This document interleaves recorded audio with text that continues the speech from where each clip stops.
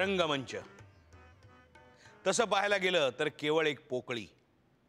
पण या पोकळीत रंगवलेले चेहरे हलू लागले बोलू लागले. संगीताचे सूर कानी आले की जादुई ऊर्जा निर्माण होते आणि चालू होतो एक लोकविलक्षण खेळ. या मराठी मातीचं मराठी मनाचं रंगभूमीशी नातं जुळलं त्याला दीडशे वर्ष झाली. आणि या दीडशे वर्षात हे नातं केवळ जुळलं नाही तर त्याचं रूपांतर एका घट्ट ऋणानुबंधात झालं आहे आणि एक आगळी वेगळी परंपरा जोपासली गेली. या रंगभूमीचं आणि मराठी मनाचं नातं कसं जुळलं कसं जन्माला आलं कसं वृद्धिंगत झालं हेच मांडण्याचा मी आज तुमच्यासमोर प्रयत्न करणार आहे. चला तर सुरुवात करूया. दीडशे वर्षांच्या ऐतिहासिक प्रवासाला मराठी नाटकांच्या संगतीनं. ही गोष्ट अठराव्या शतकातली आहे. आजच्यासारखा एकसंध महाराष्ट्र त्यावेळेला नव्हता. होती ती केवळ संस्थानं. भारूड कीर्तन दशावतार जागरण गोंधळ अशा विविध कला प्रकारांनी महाराष्ट्राचा कलेचा प्रदेश व्यापलेला होता. म्हणजे नाटक त्या काळी अस्तित्वातच नव्हतं. त्याच सुमारास सांगलीचे संस्थानिक चिंतामणराव अप्पासाहेब यांनी कानडी भागवत नाटकाचा प्रयोग पाहिला. आणि त्या क्षणी त्यांच्या मनात आलं असं सादरीकरण मराठी भाषेतही व्हावं. म्हणून त्यांनी एका तरुण उमद्या कठपुतळी कलावंताला पाचारण केलं.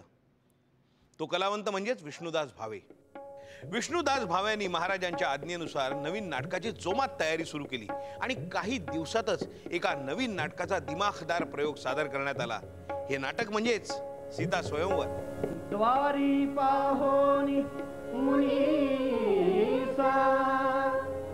सेवक कळविती नृपास. आणि तनृपच्या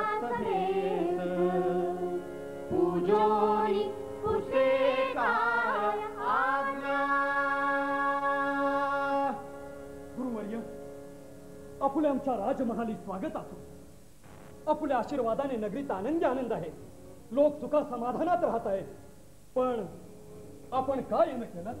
कर्नाटकी यक्षगान भागवती कीर्तन आणि दशावतार यांचा अनोखा मेळ असलेलं हे नाटक मुक्तावकाशात सादर केलं गेलं. आणि अशा रीतीने अठराशे त्रेचाळीस साली सांगली येथे मराठी नाटकाची मुहूर्तमेढ रोवली गेली.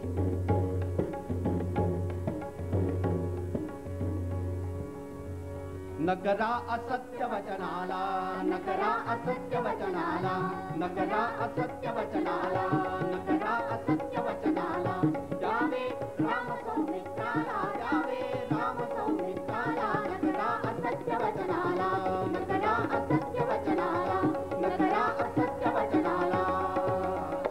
दरम्यान महात्मा ज्योतिबा फुले यांनी तृतीय रत्न हे नाटक लिहिलं. मराठी नाटकाची पहिली लिखित संहिता हीच. विष्णुदास भाव्यांच्या सीता स्वयंवराची ख्याती उत्तरेला झाशीपासून ते दक्षिणेला हुबळीपर्यंत सर्व दूर पसरली. भाव्यांच्या या प्रभावामुळेच ठिकठिकाणच्या नाटक कंपन्या पौराणिक नाटकं सादर करायला लागल्या. यात इचलकरंजीकर नाटक मंडळी अग्रेसर होती. याच दरम्यान अठराशे सत्तावन्न साली मुंबई विद्यापीठाची स्थापना झाली. इंग्रजी वाङ्मयाची ओळख झाली आणि त्यातून भाषांतरित नाटकं मराठी रंगभूमीवर आली. याच दरम्यान विनायक जनार्दन कीर्तने यांनी थोरले माधवराव पेशवे जयपाळ या नाटकांद्वारे बुकिश नाटकं रंगभूमीवर आणली.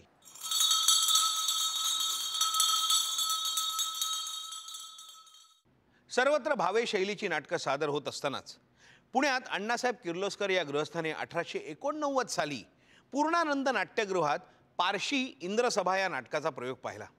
आणि तत्क्षणी त्यांच्या मनात विचार आला या पारशी नाटकाच्या झगमगीत चौकटीत मराठी पौराणिक नाटक बसवलं तर? आणि जन्म झाला पहिल्या मराठी संगीत नाटकाचा संगीत शाकुंतल. किर्लोस्करांचा अत्यंत आवडता ग्रंथकार म्हणजे कालिदास. आणि मग साहजिकच त्यांना ते नाटक बघून आल्यावरच रात्री त्यांच्या डोक्यात विचारचक्र सुरू झालं. आणि अक्षरशः सकाळपर्यंत त्यांनी जवळजवळ एक अंक शाकुंतलचा लिहून काढला. संगीत शाकुंतल नंतर आलेलं किर्लोस्करांचं दुसरं नाटक संगीत सौभद्र. संगीत सौभद्र म्हणजे नाट्यसंगीताचा मानबिंदूच म्हणावा लागेल. खऱ्या अर्थाने संगीत नाटकाचा जो जन्म म्हणायचा सौभद्रचा तो अशासाठी की तिथून अण्णासाहेबांनी जी जी पदं लिहिली ती पदं अशी होती की त्या भावनेचं टोक गाठणारी ती पदं होती. किर्लोस्करांचे समकालीन मराठी संगीत रंगभूमीवरचे नाटककार दिग्दर्शक म्हणजेच देवल मास्तर अर्थात गोविंद बल्लाळ देवल. दुर्गा झुंजारराव विक्रमोर्वशीय संशय कल्लोळ शापसंभ्रम मृच्छकटिक या त्यांच्या नाटकाबरोबरच अठराशे नव्याण्णव साली आलेल्या संगीत शारदा या नाटकाला प्रेक्षकांनी अक्षरशः डोक्यावर घेतलं. शारदा आहे त्यांचं नाटक. अतिशय गाजलेलं आहे. आणखीन त्याच्यावरून म्हणजे शारदा ॲक्ट हा कायदासुद्धा बनला गेला. म्हणजे कोवळ्या मुलीचं लग्न एकदम वयानं तिपटी चौ चौपटीनं असलेल्या नवऱ्याशी लावून देत असत विवाह तिचा.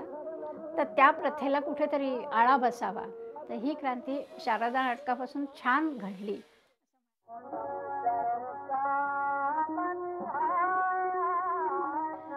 त्याचप्रमाणे Sanshay Kallol. All in the wrong नावाचं ते फ्रेंच मोलियरचं काहीतरी प्रहसन वजा नाटक होतं. पण त्याचा शेवट हा दुःखांत होता.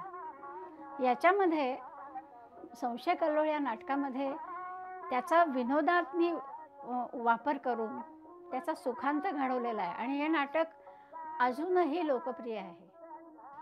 देवलांचे समकालीन नाटककार म्हणजे श्रीपाद कृष्ण कोल्हटकर वीरतनय हे त्यांचं पहिलं नाटक अठराशे शहाण्णव साली रंगभूमीवर आलं. कोल्हटकरांनी आणि माधवराव पाटणकरांनी अशा तऱ्हेची नाटकं लिहिली की त्यांनी उर्दू फारसी रंगभूमीवरच्या नंतर गुजराती रंगभूमीवरच्या काही उडत्या चाली सगळ्या नाटकात आणल्या. आणि त्यामुळे त्या संगीतांनी ॲट्रॅक्शन वाटून तमाशाकडचा प्रेक्षक वर्ग नाटकाकडे वळवला.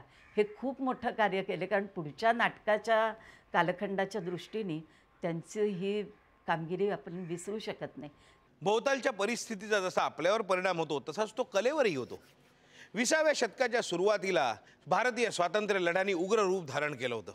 इंग्रज विरोधी भावना जोर धरू लागली होती आणि अशाच वेळेला कृष्णाजी प्रभाकर खाडीलकर यांच्या संगीत किचकवध या नाटकाने मोठी खळबळ माजवली. म्हणजे इंग्रज विरोधी नाटक म्हणून लोक या नाटकाला खूप गर्दी करू लागले. कृष्णाजी प्रभाकर खाडीलकर हे लोकमान्य टिळकांचे अनुयायी होते. आणि त्यामुळे सामाजिक संदर्भ आणखीन राजकीय परिस्थिती या सगळ्यांचा ओहापोह त्यांनी आपल्या नाटकांमधनं केला. खिचकवध हे नाटक असं होतं की भारतीय पारतंत्र्य आणखीन लॉर्ड कर्झन ह्या कर्झन म्हणजे किचक आणि आपली भारत माता म्हणजे द्रौपदी. असं रूपक करून त्यांनी ते नाटक लिहिलेलं होतं. आणि त्याच्यामध्ये त्यांनी भाषा इतकी जहाल वापरलेली होती की लोकांमध्ये खरंच म्हणजे चीड उत्पन्न व्हायची आपल्या पारतंत्र्याबद्दल. आणखीन ब्रिटिशांनी या नाटकांवर बंदी आणली. वीर वामनराव जोशी यांचं रणदुंदुभी आणि स्वातंत्र्यवीर सावरकर यांचं संन्यस्त खडग यांनी स्वातंत्र्यपूर्व काळात जनजागृतीचं मोठं कार्य केलं. अशा रीतीनं भारतीय स्वातंत्र्य लढा आणि मराठी नाटक यांचा समन्वय साधला गेला. महाराष्ट्र नाटक मंडळी किर्लोस्कर नाटक मंडळी ललित कलादर्श गंधर्व नाटक कंपनी अशा नामवंत कंपन्यांमधून विलक्षण प्रतिभेचे कलावंत मराठी रंगभूमीला मिळाले. भाऊराव कोलटकर केशवराव भोसले गणपतराव बोडस गणपतराव जोशी मास्टर कृष्णराव फुलंब्रीकर केशवराव दाते नानासाहेब फाटक मास्टर दीनानाथ मंगेशकर आणि ज्यांच्या स्वरानं आणि रूपानं मराठी मनाला मोहिनी घातली असे एकमेवा द्वितीय नारायणराव राजहंस अर्थात बालगंधर्व.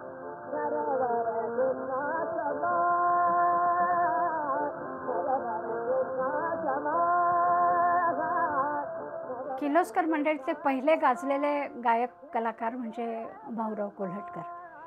भाऊरावांच्या नंतर मग कोणाला आणायचं? हा जेव्हा प्रश्न पडला तेव्हा बालगंधर्वांचं नाव पुढे आलं. लोकमान्य टिळकांनी बालगंधर्व ही पदवी दिलेली. शाहू महाराज त्यांच्या पाठीशी होते. आणि त्यामुळे मग खरोखर सांगायचं तर वाजत गाजत बालगंधर्वांचा प्रवेश संगीत रंगभूमीवर झाला.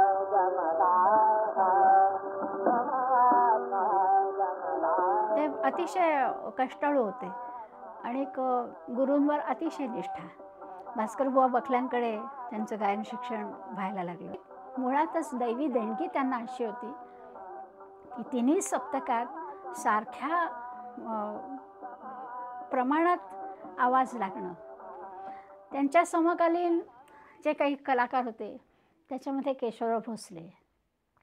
त्यांची एकदम ज्याला म्हणतात ना फिरत एकदम बिजलीसारखी तान असायची.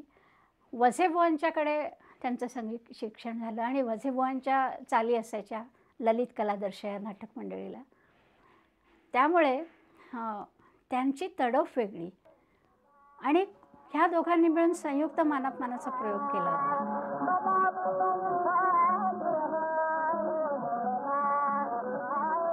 या सगळ्यातनं जे गाणं बाहेर आलं ते लोकांना संमोहित करणारं गाणं होतं. विसाव्या शतकाच्या सुरुवातीला चित्रपट माध्यमानं भारतात जोरदार प्रवेश केला. पडद्यावरची हलती चित्र पाहण्यासाठी लोक गर्दी करू लागले आणि संगीत नाटकांना उतरती कळा लागली. एकोणीसशे वीस तीस या सुमारास रंगभूमी थोडी थोडी कमी होत गेली. आप- त्याचा प्रभाव कमी होत गेला आणि मराठी सिनेमा दादासाहेब फाळक्यांनी जो सिनेमा केला त्याच्यानंतर मराठी सिनेमा जे आपल्याकडे निर्माण झाले ते आपल्याकडचे र रंगभूमीचे जवळजवळ सगळेच नट सिनेमात गेले. म्हणजे नानासाहेब फाटक गेले त्याच्यानंतर बालगंधर्व गेले. ही सगळी माणसं तिथे गेल्यामुळे नट नाहीत त्यामुळे नाटकाचे प्रयोग होत नाहीत नवीन नाटककार नाहीत असा एक मध्ये पिरियड आला. याच काळात मोग रांगणेकर मामा वरेरकर राम गणेश गडकरी आचार्य अत्रे यांनी मराठी नाटकाच्या कक्षा विस्तारून नाटकाला नवसंजीवनी दिली. मामा वरेरकर यांच्या नाटकातील आधुनिक दृष्टिकोन महत्त्वाचा ठरला. कुंजविहारी हाच मुलाचा बाप सत्तेचे गुलाम या नाटकातून त्यांनी समाज प्रबोधन केलं. वरेरकरांच्या लेखणीतून उतरलेलं आणखी एक वैशिष्ट्यपूर्ण नाटक म्हणजेच भूमिकन्या सीता.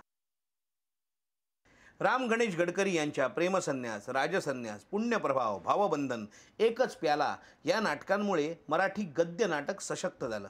गडकरींवरती गद्य नाटकांचाच प्रभाव होता. बालगंधर्व केशवराव भोसले वगैरे ही जी मंडळी होती यांनी संगीत रंगभूमी एवढी मोठी केली. म्हणून आपल्याकडे संगीत नाटकांची परंपरा सुरू झाली. पण आपली जर सिरियस नाटकं जर आपण पाहिली म्हणजे खाडीलकरांची नाटकं सवाई माधवराव यांचा मृत्यू किंवा भाऊबंदकी ही नाटकं गद्यच आहेत. आणि यांची गडकरींची पण नाटकं तसं पाहिलं तर एकच प्यालामध्ये जर संगीत काढून टाकलं तर पूर्ण गद्यनाटक होऊ शकतं. तर ते गद्यनाटकाचा प्रभाव हा इंग्रजी प्रभाव होताच आपल्याकडे. एकच प्याला हे जे नाटक आहे याच्यामध्ये ऑथेलोमध्ये जो संशय आहे तो संशय बाजूला करून जर मद्यपान किंवा अल्कोहोलिझम हे जर टाकलं म्हणजे त्या एका अत्यंत नोबल उदात्त व्यक्तिरेखेच्या स्वभावामध्ये असलेला एक दोष त्याच्याकडे संशयाचा होता तर ह्याच्याकडे हा लगेच मद्याच्या आहारी जातो. ते जर पाहिलं तर सिंधू म्हणजे डेस्डिमोना गीता म्हणजे एमिलिया. हे सगळं तुम्हाला सरळ सरळ गीताचे वडील आहेत रामलाल आहे तो कॅसिओ आहे तळीराम आहे तो यागो आहे असं करून जर तुम्ही पाहिलं तर ते जवळजवळ ऑथेलोच आहे. म्हणजे हा परत ट्रॅजेडीचा गडकरींवर झालेला परिणाम. मराठी रंगभूमी ही सातत्यानं नाविन्याचा शोध घेणारी आहे. त्यामुळे युरोपीय रंगभूमीवर होणारे बदल मराठी रंगभूमीवर सुद्धा दिसू लागले. एकतर अत्रे वरेरकर यांच्यामुळे लेखनशैलीत आमूलाग्र बदल झाला. आणि नाट्य मनवंतर या संस्थेनं मंचन पद्धतीत सुद्धा आमूलाग्र बदल घडून आणले. याच संस्थेनं एकोणीसशे तेहतीस साली सादर केलेल्या आंधळ्यांची शाळा या श्रीवी वर्तकांच्या नाटकातून अगदी इतिहास घडवला. म्हणजे या नाटकामुळं वास्तववाद मराठी रंगभूमीवर आला. एकोणीसशे बत्तीसमध्ये नाट्य मनवंतरने आंधळ्याची शाळा हे नाटक केलं. तिथून आपण खरं म्हणजे मॉडर्न मराठी थिएटरला सुरुवात झाली असं म्हणतो. तिथे ते परत फाईव्ह ॲक्ट नाही आहे ते थ्री ॲक्ट आहे. तो तिथून तो थ्री ॲक्टचा जो कॉन्सेप्ट आहे तो तिथे डेव्हलप झाला. आचार्य प्रल्हाद केशव अत्रे यांनी आपल्या प्रहसनात्मक नाटकातून तात्कालिक सामाजिक आणि राजकीय विषय हाताळले. भ्रमाचा भोपळा लग्नाची बेडी घराबाहेर कवडी चुंबक या नाटकांनी प्रेक्षकांची मनं जिंकली. मी मी जन्मात कधी दिल्लीला गेलोच नाही तर तुमची आणि माझी भेट होणार कशी? असं का? असं का? जन्मात दिल्लीला कधी गे मग ही गोष्ट तुम्हाला कळलीच कशी? अग्निहोत्री देवानं मला तेवढी अक्कल दिली. आता मी तुमच्यासारख्या वेड्याच्या इस्पितळात जाऊन आलो नाही. प्रश्न विचारा. सलती वैयक्तिक टीका करू नका. तर टीका कुठे गेली मी? मग आता तुम्ही काय म्हणाला? काय? तुमच्यासारखा वेड्याच्या इस्पितळात जाऊन आलो नाही म्हणून? मग ते गेले नाही असं आपलं म्हणणं आहे का? अहो माग गेले होते. मग असं म्हणू का? असं म्हणायची काही जरूर आहे का? मग म्हणू नको का? कशासाठी म्हणायचे तुम्हाला? बरं साहेब म्हणतात मी तुम्हाला वेडा म्हणत नाही. मोग रांगणेकर यांनी आपल्या नाटकातून मध्यमवर्गीय माणसाला जवळचे वाटतील असे विषय हाताळले. म्हणजे कुलवधू नंदनवन भटाला दिली ओसरी या नाटकामुळे मध्यम वर्ग पुन्हा एकदा नाटकाकडे वळला. थोडक्यात काय? वरेरकर रांगणेकर गडकरी अत्रे यांनी व्यावसायिक रंगभूमीवर नवीन ऊर्जा निर्माण केली. भारताला स्वातंत्र्य मिळालं आणि सर्वत्र उत्साहाचं वातावरण निर्माण झालं. आणि हाच उत्साह मराठी रंगभूमीवर सुद्धा झिरपला. म्हणजे याच काळात बबन प्रभू बाळ कोल्हटकर पु ल देशपांडे वि वा शिरवाडकर मधुसूदन कालेलकर अशी अख्खीच्या अख्खी रंगकर्मींची फळी उभी राहिली. बबन प्रभू आणि आत्माराम भेंडे यांच्या झोपी गेलेला जागा झाल्यानं अस्सल फार्स मराठी रंगभूमीवर अवतरला. फार्स म्हटला विषय म्हटला की एकट्याचं माझं नाव घेतलं जातं नाही. आत्माराम भेंडे बबन प्रभू असं बोललं जातं. तो माझा जो माझा एक जीव दुसरा जीव होता त्याचं नाव घेणं अत्यंत आवश्यक आहे. आणि त्याच्यामुळे माझ्यामुळे हा फार्स झाला निर्माण झाला. जगला रंगभूमीवर आला मेला गेली काय झालं त्याच्या नवा फार्स आम्ही ज्याला म्हणतो तो फार्स ब ब- बनला अभिप्रेत होता. की जो लोकांना हसवेल पण विचार करायला असा होता. आणि तो त्याने आणण्याचा प्रयत्न केला. बबन आणि भेंडे. आम्ही एकच आहोत एक जीव आहोत. रंगभूमीचं कुठलंही नातं तुम्ही घ्या कुठलाही संदर्भ घ्या कुठल्याही बाबतीत तुम्ही बोला. आम्ही एक जीव आहोत. आम्ही आम्हा आमची फाटाफूट होऊ शकत नाही. आम्ही एकाच तोंडाने बोलणार एकसारखेच बोलणार एकच बोलणार गोष्ट. आणि ती म्हणजे आम्हाला हा फारस नवीन फारसा आवडतो. जातिवंत विनोदाचे सम्राट पु ल देशपांडे यांचा रंगभूमीवरचा प्रवेश याच काळातला. सुंदर मी होणार तुझं आहे तुझं पाशी वाऱ्यावरची वरात या त्यांच्या नाटकांनी त्यांना प्रेक्षकांच्या मनात अढळ स्थान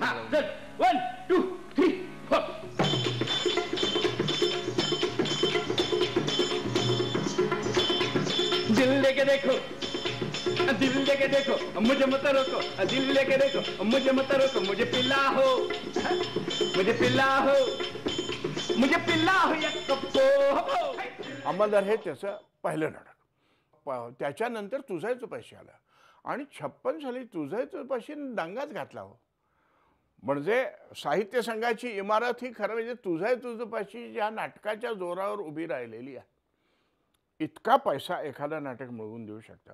मग त्याच्यानंतर सुंदर मी होणार आलं. बाईची खरं म्हणजे ॲडॅप्टेशन्स जास्त होती. तुझाय तुझं पाशी हे अगदी स्वतंत्र नाटक. असं होत होत होत होत मग तो पुढं भाग्यवान केलं. असं होत होत मग ती फुलराणीला आला. मला पुयलच्या विनोदाचं वैशिष्ट्य असं वाटतं की खरं म्हणजे काय आहे बरं का विनोदी पद्धतीने जीवनाकडे पाहण्याची दृष्टी आहे ती. विनोद हा नुसता म्हणजे ओढून तोंडून मारता येत नाही.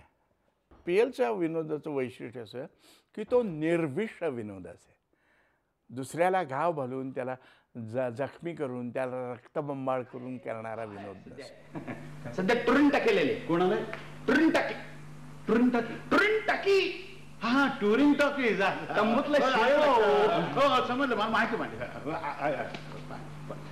फर्स्ट क्लास पिक्चर आणली ती या सीझनला सीझनला मग परवा राव दिल धडकेन जिया तडके पाया याच काळात. बाळ कोल्हटकरांनी वाहतोही दुर्वांची जुडी लिहून कौटुंबिक नाटकांना एक वेगळा दर्जा प्राप्त करून दिला. आणि त्याच वेळेला वसंत कानेटकरांनी अत्यंत बांधेसूद लेखन करत विनोदी सामाजिक ऐतिहासिक मनोवैज्ञानिक असे विविधांगी विषय हाताळले. त्यावेळेला त्यांची वेड्याचं घर उन्हात आणि रायगडाला जेव्हा जाग येते ही नाटकं विशेष करून गाजली. समज? आपण आपण केवळ एक समज मानता? युवराजने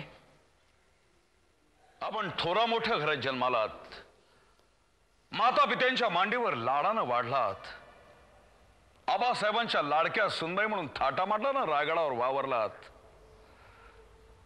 पण आमच्या पोरक्या जीवनाची दर्दभरी कहाणी तुम्हाला नाही उमगायची. आम्हाला जाण आल्यापासून ठाऊक आहे फक्त आबासाहेबांच्या डोळ्यातला थाक आमच्या मनावर कोरली त्यांच्या ओठांवरची सुन्न जरब. आमच्या पोटात कालवते त्यांचं छत्र त्यांचं सिंहासन त्यांची राजमुद्रा.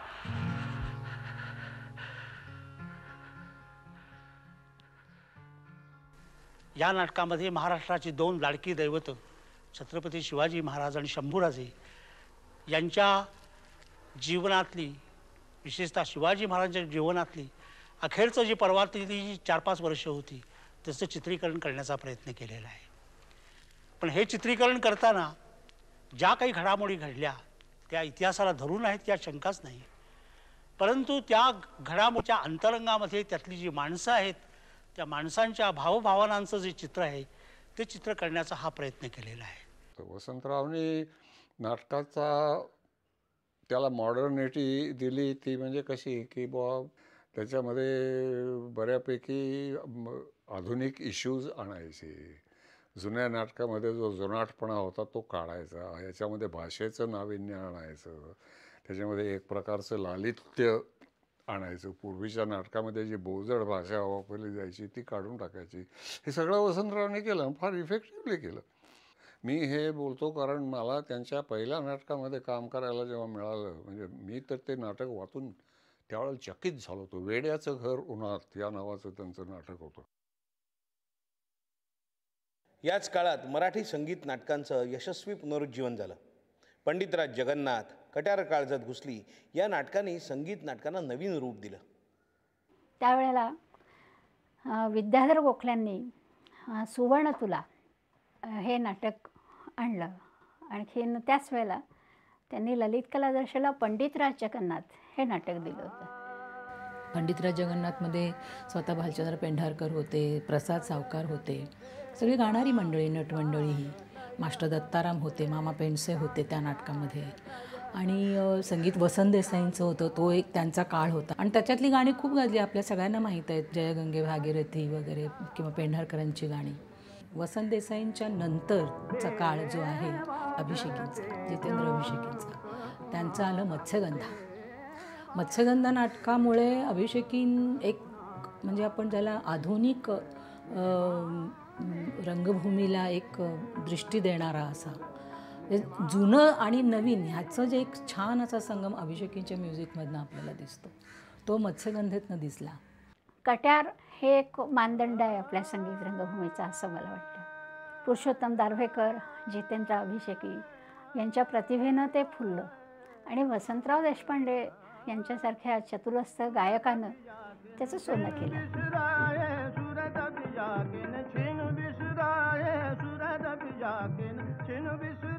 तो एक चमत्कार झाल्यासारखं झालं. आणि पुन्हा पुन्हा एकदा थिएटरकडे लोक वळले. एकोणीसशे चौपन्न साली नव्याने सुरू झालेल्या नाट्य स्पर्धा आणि नाट्य महोत्सवातून विविध संस्था नाटक करू लागल्या. I N T P D A Kalopasak Rangayan Goa Hindu association यांनी याच काळात समांतर रंगभूमीचा पाया रचला. चोपन्न साली जेव्हा नाट्यस्पर्धा सुरू झाल्या त्यावेळेला मुंबई द्विभाषिक होतं. आणि त्या वर्षामध्ये आमचं पी डी एचं नाटक पहिलं आलं. ज्यावेळी शांतता कोट चालू आहे याची निर्मिती केली त्यावेळेला विजयाबाई इथं नव्हत्या आणि अरविंदनी संबंध ती जबाबदारी आपली स्वीकारली आणि त्या तीन चार वर्षामध्ये त्यावेळेला आम्हाला नाटक निर्मिती करायला एकच उद्देश असायचा तो म्हणजे स्पर्धा. स्पर्धेने मराठी रंगभूमीला राज्य नाट्य स्पर्धेने खूप काही दिलेलं आहे. की नाट्य नवीन नाट्य निर्मितीसाठी ते एक आव्हान असायचं त्यावेळेला. आणि त्यावेळेला ज्या स्पर्धा होत्या त्या खरोखरी स्पर्धाच होत्या. दहा बारा जरी आमच्या संस्था असल्या तरी त्यांच्यामध्ये चढाओढ जास्त होती. आणि मराठी रंगभूमीवर त्यावेळेला काहीतरी नवीन सादर करण्याचा एक प्रयत्न चालू होता सातत्यानं. बालबा केळकर दामू केंकरे विजया मेहता या प्रयोगशील दिग्दर्शकांनी प्रेक्षकांचा नाटकाकडे पाहण्याचा दृष्टिकोन बदलला. केवळ मनोरंजन न करता मानवाच्या अस्तित्वाचा शोध घेण्याचा विचार नाटकातून होऊ लागला.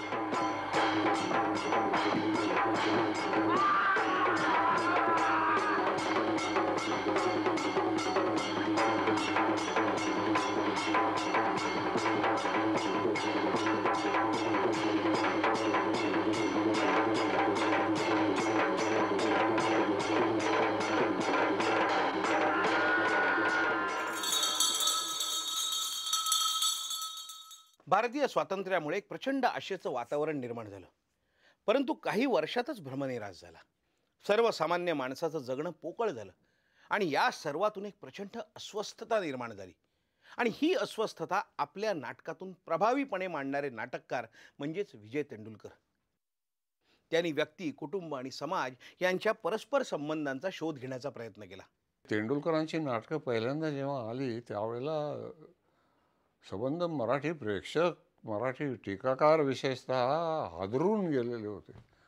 हे काय काय तेंडुलकरांनी चालवले काय? हा भ्रष्टाचार आहे या माणसाला गप्प केलं पाहिजे याचं तोंड बंद केलं पाहिजे वगैरे. इथपर्यंत तेंडुलकरांच्या विरुद्ध त्यावेळेला लोक बोललेले होते. नाटकाची इडियम ज्याला आपण म्हणतो ती इडियमच तेंडुलकरांनी फार बदलून टाकलेली होती. तेंडुलकरांची नाटककार म्हणून ताकद फार मोठी होती. म्हणजे ते त्या संधी काळामध्ये आलेले होते की जिथे जुनं नाटक आता लोकांना संपत आलेलं वाटलं होतं आणि नवीन नाटक सुरू होत होतं त्याच्या मध्यवर्ती तेंडुलकरांचा उदय आहे. तेंडुलकर साठच्या दशकातच लिहिते झालेले असले तरी सत्तरच्या दशकात त्यांचं लिखाण अधिक तेजस्वी आणि धारधार बदलं गिधाडे शांतता कोर्ट चालू आहे. घाशीराम कोतवाल सखाराम बाइंडर या नाटकातून त्यांनी समाजाला जोरदार हादरा दिला. युज्युअल जी नाटकं होत चालत होती त्याच्यामध्ये ऐतिहासिक नाटकं असायची पौराणिकही नाटकं असायची सोशल कथा असलेली पण नाटकं असायची. आणि अशा पद्धतीचं त्या सगळ्या बॅकग्राऊंडवर हे बाइंडरसारखं नाटक येणं आणि एका खालच्या समाजातल्या आणि त्या झोपडपट्टीच्या स संदर्भातलं एक कथानक येणं आणि अशा स्ट्रॉंगली येणं जे जितक्या स्ट्रॉंगली आलं रंगमंचावर. त्याच्यामुळे हा सगळा प्रकार झाला. ते कारण तिथपर्यंत असा सखाराम बाइंडरसारखा हिरो असणं असं कधी झालंच नव्हतं. तर त्यामुळे तो जो झगडा झाला किंवा जे काय वादळ निर्माण झालं ते त्यामुळे झालं. तेंडुलकरांचं एक वैशिष्ट्य म्हणजे एक तर त्यांच्या कथानक हे खूप वेगळ्या प्रकारचं असायचं. त्यांचे विचार वेगळे असायचे त्यांचं लिखाण वेगळं असायचं. आणि त्यांचं परफेक्शन लिखाणामध्ये म्हणजे वाक्य छोट्या वाक्यामध्ये त्यांना जे काय म्हणायचं आहे म्हणजे त्यांचा एक शब्दसुद्धा आम्हाला इकडून तिकडे केला तर संबंध नाटकाचा बॅलन्स नाही मला. यानं चावून खाल्लं कच्च कधीच पदराला नव्हता तेव्हा माझ्या आईकडून इकत घेऊन लगीन लावले यानं माझ्याशी. मला काय पण समजत नव्हतं. माझ्या हाल हाल करायचा रात रात मला डागायचा मुर्दा सुया लावायचा घाण घाण गोष्टी करायला लावायचा. पळालं तर धरून आणून बांधून तिकट भरलं भडव्यानं काळीच काळीच राहिलंय कुठं? हा यानं त्याचं लचक तोडलं माझ रगत प्यालं उठ रे डुकरा आता तुला तिकटाच सोडू ती बघ. सतीश आळेकर यांनी आपल्या खास तिरकस शैलीतून बेगम बर्वे महानिर्वाण महापूर या नाटकातून मध्यमवर्गीय जीवनातला फोलपणा मांडला. जरा लांबवर असलेल्या पुलावर जायचं आणि पाण्यात उडी घ्यायची. धार कापत भोवरे फोडत स्मशानाच्या काठाला लागायचं. समोरच्या देवळाच्या कळसाला पायानं रेटा देऊन शड्डू ठोकत शंभो असं पुकारायचं. अरे हे सगळं जिथे आहे ते माझं स्मशान. टेंडर भरून बांधलेल्या सिलिकॉनच्या भट्टीत मला जायचं नाही. माझं पोहणं आता कायमच संपलंय. मला माझ्या जुन्या वाळूत सुखानं पडू द्यात बाळानो. हे नवीन स्मशान आमच्यासाठी नाही. ते तुमच्यासाठी आहे. छान. अजून तुमच्या जळण्याचा पत्ता नाही आणि आम्हाला चढवा सरणावर. भाऊ गेले दहा दिवस तुमच्या देहाचा वास माझ्या नाकात बसलाय. तेरावा झाल्यावर मला जरा सवड मिळेल. आय एम व्हेरी बिझी तुम्हाला जळायचंय. तेही जुन्या स्मशानात. ते झालंय बंद. ती जागा झाली आता खासगी मालकीची. सगळी चिकचिक झाली आहे माझी. आळेकरांच्या नाटकामध्ये कावरे बावरे पण खूप मोठ्या प्रमाणात येतं तो तरुण आहे त्यातला तो खूप हल्लेला आहे. त्या मध्यमवर्गीय अस्तित्वाला जे काही काही क्रॅक्स जात असतील तडे जात असतील किंवा ते तडे गेलेले आहेत त्यातून बारीक बघताना मला त्याच्या पलीकडचं दिसत असेल. आणि म्हणून महानिर्वाणमधला जो विनोद आला तो विनोद त्या मध्यमवर्गीयतेला एका अर्थाने उलथ उलथणारा. म्हणजे एका अर्थाने विद्रोही असं मी मानतो. याच काळात एलकुंजवारांचं वाडा चिरेबंदी आलं. एकत्र कुटुंब पद्धतीच्या ढासळत्या अवस्थेचं चित्रण प्रेक्षकांना सुन्न करून गेलं. एलकुंचवारांचं वाडा चिरेबंदी मग्न तळ्याकाठी आणि युगांत म्हणजेच मराठीतील पहिली त्रिनाट्यधारा. वाडाच्या वाड्याच्या वेळेला खरं तर तसं म्हटलं it was a delight because it was a total fresh experience for me की ज्याची इमेजरी स्ट्रॉंग आहे इंटेन्स आहे अशा माणसाबरोबर आपण काम करतोय. प्रायोगिक रंगभूमीवर ही नाटकं होत असताना तेवढ्याच धाडसी आणि प्रयोगशील संहिता व्यावसायिक रंगभूमीवर आणण्याचं धाडस. सुरेश खरे मधुकर तोरडमल जयवंत दळवी रत्नाकर मतकरी या नाटककारांनी केलं आणि चंद्रलेखा कलावैभव नाट्यसंपदा या संस्थांनी त्यांना धाडसी पाठबळ दिलं. दळवींच्या नाटकामध्ये प्रत्येक नाटकामध्ये कुटुंब होतंच. पण ही सगळी कुटुंब पिचलेली होती. आयुष्याचे जे रखरखीत उन्हातले अनुभव आहेत ते सगळे अनुभव देणारी अशी अं, त्यांची नाटकं होती. तुम्ही म्हणालात म्हणून केस वाढवले. वाढवले ना? हो. तुम्ही म्हणालात म्हणून बांगड्या भरल्या. भरल्या ना? हो हो. आता एकदा काय ते ठरवा. ठरवाल ना हो हो. आणि या टांगणीतून माझी सुटका करा. कराल ना. माझ्याशी लग्न कराल ना. हो हो हो हो. हो हो मी मी तुझ्याशी लग्न करणार आहे. मी बाबूला सांभाळणार आहे. पण मला मला मला मला थोडासा अवधी हवा अवधी अवधी अवधी. किती? मला असा ग्लोरिया सारखे प्रश्न विचार आणि असा माझ्यावर जीवही लावू नकोस. थांब थोडी थांब. नाही तर मी पळून जाईन. नाही तर मी पळून जाईन.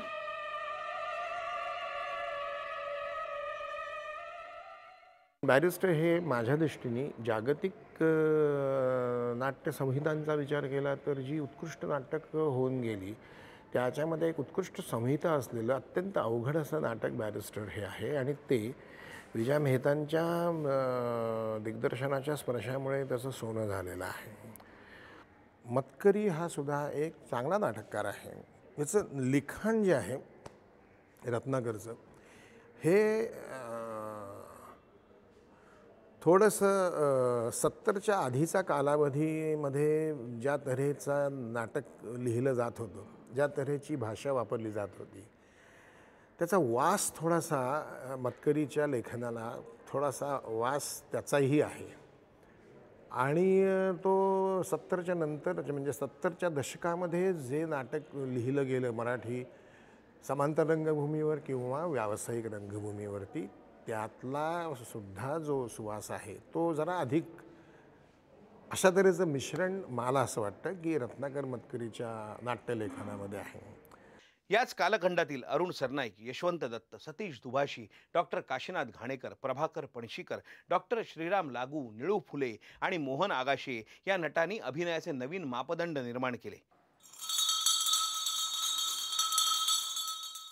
सत्तरच्या दशकातली मराठी नाटकातली धग आणीबाणीमुळे थंडावलेली असली तरी ऐंशीच्या दशकात बदलत्या सामाजिक राजकीय जाणीवांचं प्रत्येकारी दर्शन नाटकातून झालं. यापूर्वी अस्तित्वात नसलेल्या अनेक प्रवाहांचा समन्वय याच काळात झाला.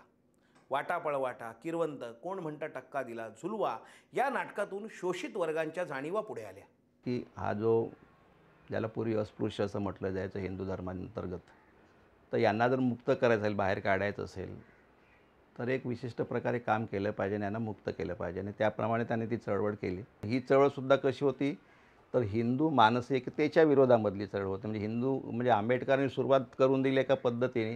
त्याचा उद्रेक मग जागोजाग व्हायला लागला. आणि मग ते मग नामांतराची चळवळ असेल खूप गोष्टी घडत होत्या आजूबाला एक गाव एक पानवठ्याची चळवळ असेल किंवा जयप्रकाश नारायणनी संपूर्ण क्रांती असं काहीतरी सांगितलं होतं. आणीबाणीचा कालखंड. असे सगळे एकच सगळा असं विचार केला त्या सगळ्या कालखंडात. त्याचा उद्रेक होता. नुसत्या एकाच गोष्टीचा उद्रेक होता. अनेक गोष्टी होत्या. जगण्याचे प्रश्न होते राहण्याचे प्रश्न होते.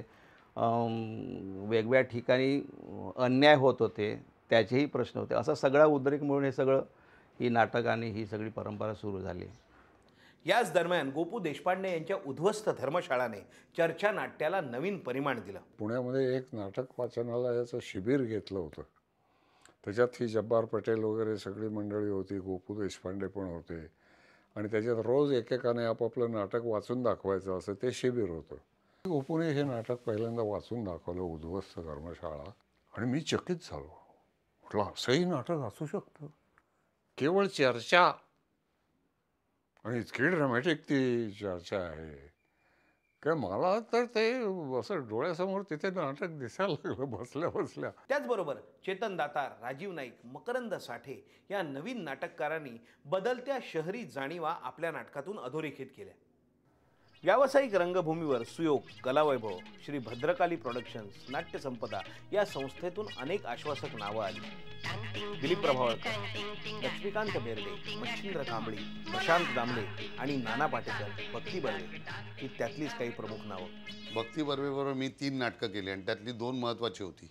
एक गांधी विरुद्ध गांधी आणि ती फुलराणी. आम्ही एक हजार एकशे अकरावा प्रयोग केला फुलराणीचा. कळलं का? एक हजार एकशे अकरा. आणि रवींद्र नाट्यमंदिरमध्ये पु ल देशपांडे आणि वसंत कानेटकर.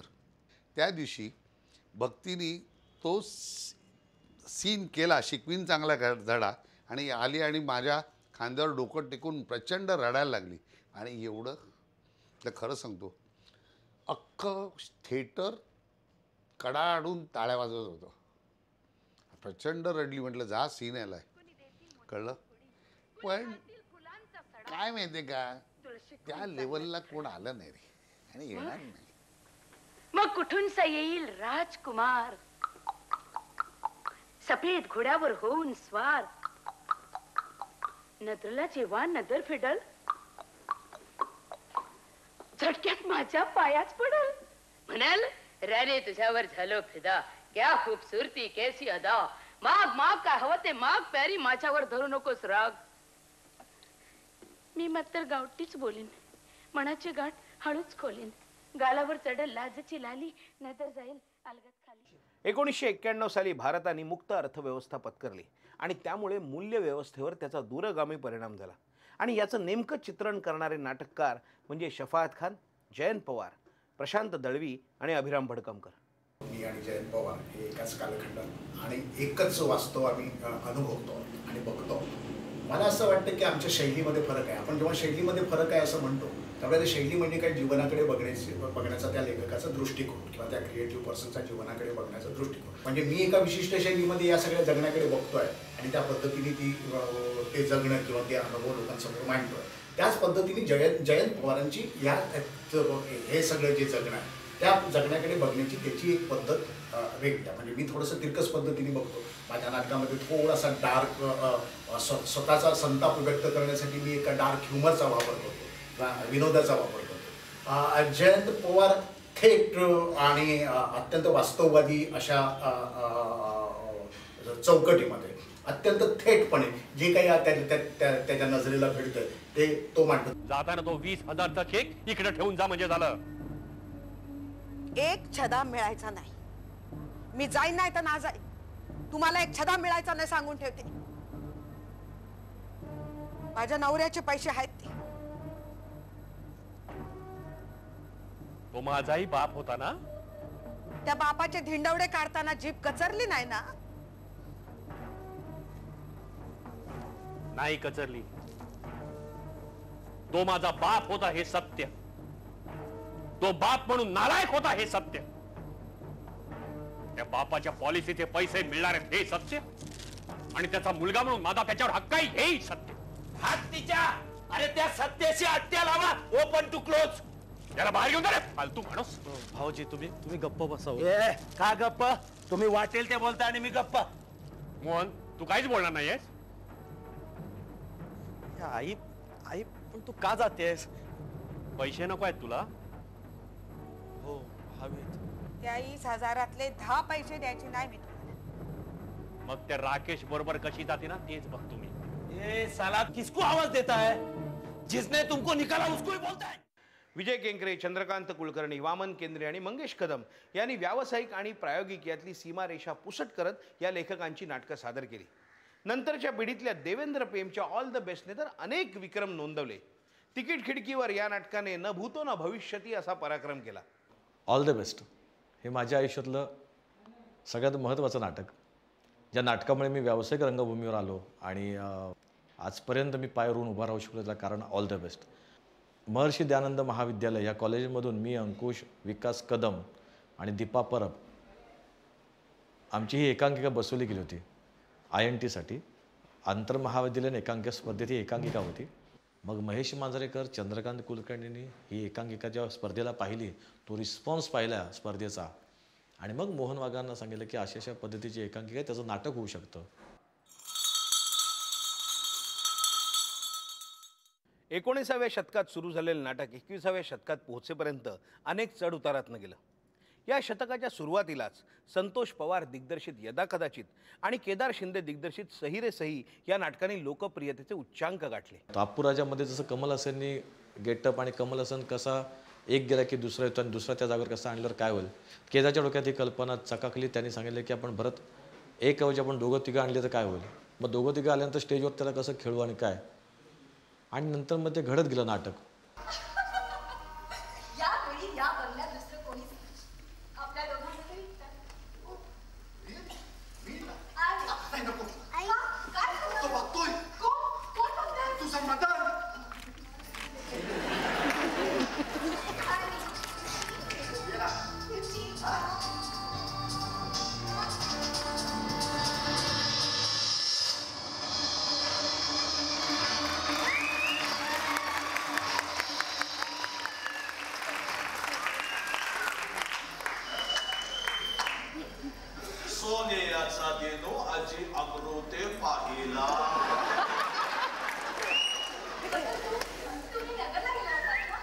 नगरला गेलो असतो तर हा आनंद सोहळा कसा काय पाहतो? आनंदाची डोही आनंद तरंगुल आपुलेची मरण पाहिले म्या डोळा. आज गिरीश जोशी विवेक बेळे चंद्रशेखर फणसळकर आनंद म्हस्वेकर हे नाटककार आव्हानात्मक नाटकं व्यावसायिक रंगभूमीवर आणत आहेत प्रेक्षकांच्या बदलत्या अभिरुचीला प्रतिसाद देण्याचा या नाटककारांचा प्रयत्न आहे. दोन हजार पाच साली दिनू पेडणेकरांनी माकडाच्या ती शॅम्पेन हे महाराष्ट्र कल्चरल सेंटरकडनं प्रायोगिक पद्धतीने केलेलं आमचं नाटक व्यावसायिक करण्याची इच्छा प्रदर्शित केली आणि मला वाटतं तेव्हापासून एका थोड्या वेगळ्या ट्रेंडची किंवा एका व्यावसायिक रंगभूमीवरील थोड्या एका वेगळ्या वाटचालीची सुरुवात झाली असं मला वाटतं. आपल्या जाणीवा व्यक्त करणारी नाटकं आज मोहित टाकळकर मनस्विनी लता रवींद्र अद्वैत दादरकर सतीश मनवर इरावती कर्णिक ही मंडळी लिहित आहेत. आपल्या पिढीचे प्रश्न मांडण्याचा यांचा प्रयत्न आहे. आणि असं कुठं आहे ग की भारतीय म्हणजे परंपरावादी? उलट परंपरावादी सगळीकडेच भुक्कड नैतिकतावाले असतात. पण त्यातही बंडखोर कुठे आणि कसा जन्म घेतील सांगता येत नाही. आता मीरा बघ ना ती नव्हती का ट्रॅडिशनल इंडियन बट सी आणि या उलट हे जे काय आता गोरं दिसणं आणि फॅशन्स हे सगळंच पुरुषप्रधान आणि परंपरावादीच आहे. स्त्रीनं कसं असावं तर पुरुषाला आवडेल असं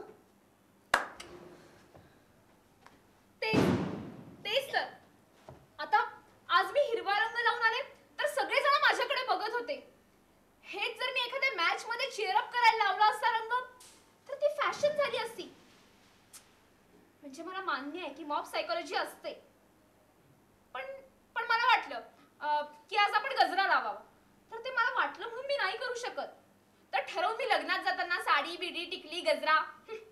आणि कॉलेजला मात्र जीन्स टॉप मला ना त्या टिपिकल जात नोकरी वगैरे बघून प्रेम करणाऱ्या आणि मग लव्ह कम अरेंज म्हणून मिरवणाऱ्या मुली अजिबात नाही आवडत आय एम सो मॉडर्न की लग्न झालं तरी मी जीन्स पण घालते आणि नवरा परमिशन देतो मला आय एम सो ट्रॅडिशनल की मी जीन्स घातली तरी गळ्यात छोटस मंगळसूत्र ही घालते आय हेट इट बस बस बरोबर आहे येशील ना बोलून. नाटकामध्ये ग्लोबलायझेशनमुळे झालेले अ, आपल्या आयुष्यावर झालेले परिणाम हे आज आमच्या नाटकामध्ये दिसतात. सगळे म्हणतात की तुमची नाटकं ही खूप पर्सनल रिलेशनशिपबद्दलची असतात. ती खूप जास्त कधी कधी ती जास्त बोल्ड वाटतील की अशी असतात किंवा ती एका म्हटलं सेक्शुअलिटीबद्दल जास्त बोलतात. तर मला असं वाटतं की हे तसं नसून बेसिकली असं झालेलं आहे की आता बाहेरच्या कोणत्या मुद्द्यावर लिहायचं? म्हणजे कसं की बेसिकली टेलिव्हिजनमुळे आणि टेलिव्हिजन आपल्या इतका अंगावर आल्यामुळे सगळ्या गोष्टी ह्या खूप बोथट झालेल्या आहेत. तर मला वाटतं की ह्याचा खूप मोठा मोठ्या प्रमाणात म्हणजे ह्याचा परिणाम आमच्या नाटकांवर झालेला आहे. मला वाटतं आत्ता जे नाटक घडतं आहे आमच्या सगळ्यांकडनं ते थोडंसं आधी जे घडत होतं त्यापेक्षा एक किंचित एक कूस बदलल्यासारखं वाटतं आहे की आम्ही लहान होतो तेव्हापासून ऐकतोय की मराठी रंगभूमी ही शब्दप्रधान आहे आणि ती आपली स्ट्रेंथ आहे आणि हे. तर आत्ता मला बरेचसे आजूबाजूला जी लोकं नाटक करताना दिसत आहेत ती ती स्ट्रेंथ जी आहे ती मान्य करणारे पण त्याचबरोबर त्याला अधिक एक विज्युअल स्वरूप देणारे थोडे ॲस्थेटिकली जास्त जागरूक असणारे जास्त अभिरुची जास्त संपन्न असणारे असं नाटक आहे तरुण पिढीचे जे काही प्रश्न आहेत किंवा आम्ही आत्ता जे काही सिच्युएशनमधून जातो आहे किंवा जे फेस करतो आहे मग ते काही असू दे. कॉम्पिटिशन असू दे इन्सिक्युरिटी असू दे रिलेशनशिपच्या बाबतीतला गोंधळ असू दे अशा प्रश्नांना जास्तीत जास्त सखोलपणे त्याचा अभ्यास करण्याचा आमची पिढी प्रयत्न करते असं वाटतं. आणि फक्त त्याच्यात न अडकता मला वाटतं जास्तीत जास्त डेप्थ मध्ये जाण्याचा आमचा प्रयत्न आहे. आणि असं खूप वाटायला लागलं आहे मला की आता जे मीडियम्स आहेत तीन नाटक सिरियल आणि फिल्म तर मला असं वाटतं की मी अशा प्रकारचं नाटक शोधण्याचा प्रयत्न करतोय ज्या जो विषय किंवा आशय किंवा ट्रीटमेंट सिरियलमधूनही मिळणार नाही आणि फिल्ममधूनही मिळणार नाही जी फक्त स्टेजवर बघायला मिळेल. येत्या काळातील मराठी रंगभूमीची वाटचाल या आणि अशाच तरुण रंगकर्मींच्या हातात आहे. तेव्हा मराठी रंगभूमीच्या भवितव्याबद्दल त्यांना काय वाटतंय हे त्यांच्याकडूनच जाणून घेणं महत्त्वाचं ठरेल. प्रेक्षक जो आहे ना तो आता तो आता सगळं बघतोय आजूबाजूला. म्हणजे तो आता वर्ल्ड सिनेमावर टी व्हीवर तो उत्तम उत्तम सिनेमे बघतोय. आजकाल अनेक लोकांकडे पूर्वी फक्त नावं ऐकली होती पण आजकाल प्रत्येकाच्या घरात जवळजवळ माझ्याकडे पूर्ण बर्गमन आहे माझ्याकडे पूर्ण तारकोस्की आहे. नवीन मॅकडे की स्लोस्की आहे. हे प्रत्येकाकडे व्हायला लागलं आहे प्रत्येकाच्या कम्प्युटरवर या गोष्टी असतात. इंटरनेटमुळे आजकाल एक विज्युअल असेल ॲस्थेटिक असेल कारण तेवढं बघायला मिळतं आहे आपण यापुढे आता प्रेक्षकांना उल्लू नाही बनवू शकत. पुढचं नाटक निश्चितच टेक्निकली सुद्धा खूप साऊंड आणि खूप मोठं असेल असं वाटतं मला. फक्त चांगला अभिनय किंवा चांगलं लेखन दिग्दर्शन ह्या बळावर इथून पुढे नाटक कदाचित चालेल असं मला वाटत नाही. प्रेक्षकांना नाट्यगृहाकडे आणण्याकरता रिच व्हिज्युअल कंटेंटसुद्धा त्या नाटकाबरोबर लागेल असं मला वाटतं. नाटकाची आता भाषा आणि स्ट्रक्चर खूप मोठ्या प्रमाणात बदलेल. म्हणजे नाटक हे फक्त एका म्हणजे एका प्रदेशापुरतं किंवा एका भाषेची किंवा एखाद्या जागेची मक्तेदारी राहणार नाही. ते खूप जास्त युनिव्हर्सल होईल. आता फक्त माउथ पब्लिसिटी आणि पेपर ॲडवर अवलंबून राहून चालणार नाहीये तर ह्या गोष्टी खूप पुढे बदलत जाणार आहेत की इंडिव्हिज्युअल लेवलला जाऊन पब्लिसिटी करायला लागेल. आज मराठी रंगभूमी दीडशे वर्षांची झाली आहे. एवढ्या प्रदीर्घ कालखंडात अनेक संकटांना तोंड देत मराठी रंगभूमीची वाटचाल अखंडितपणे सुरू आहे हे या मातीचं वैशिष्ट्य. मराठी सभ्यता आणि मराठी नाटक यांच्यात आज एक अनन्य साधारण नातं निर्माण झालं आहे हे नातं अधिक दृढ व्हावं. ही मुळं अधिक खोलवर रुजली जावीत आणि नाट्यकलेचा परिपोष साधला जावा अशी मनोकामना व्यक्त करून आता भरतवाक्याकडे वळूया. सर्वात्मका सर्वेश्वरा सर्वात्मका